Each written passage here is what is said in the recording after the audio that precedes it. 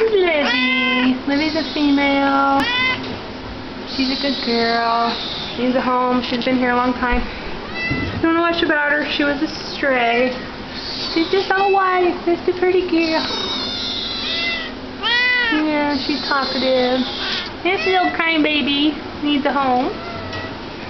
And so do these other two babies. They're for adoption. This little one with the gray and white on the bottom was hit by a car.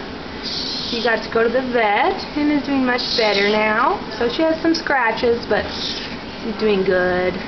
Watch out, don't walk on them. And these two babies are for adoption. They're a little smaller. How's you doing, little baby? How's you doing? Ooh. I have a little cold. Just need a little antibiotics, which you can get at your free free vet check. Oh, and there's no Blessy. I didn't see you. So, here's Maxwell. Maxwell's a neutered male. Super friendly. Hi. How you doing? Yeah. And then we have Mama Kitty. Hi, Mama Kitty. She's super friendly too, medium hair.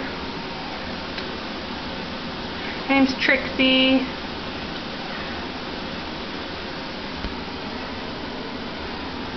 And Silver probably needs a nice little farm home or lots, lots of time, just scared to death.